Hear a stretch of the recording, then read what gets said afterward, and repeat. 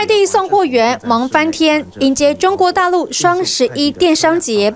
官方统计，光是十一月一号单日邮政快递收件五点二九亿件，比上个月暴增七成二。然而投递件数只有二点七四亿件，衰退近一成二，因为物流被疫情拖累。要求我们所有的从业人员啊，每天一检的核酸检测啊，持这个二十小时核酸。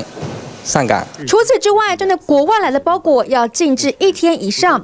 根据业者数据，河南、广东、湖北、山东、海南、重庆等地都有集货转运点，因为疫情被关闭。我我们都会进行消杀，消杀完之后是尽快的，嗯，放到每个区域的小哥手上，然后让小哥尽快配送到每个客户手上。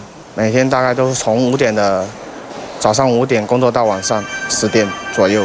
同时，快递员进入中大陆百大缺工榜的前五名，因此大幅加薪抢人拼双十一。一个人大约在一天在三百到四百之间。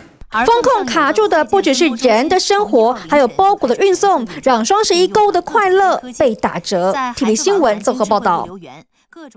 掌握全球情势、国际新闻，全新选择 YT 频道 TVBS 国际 Plus，扩大视野。欢迎订阅并开启小铃铛。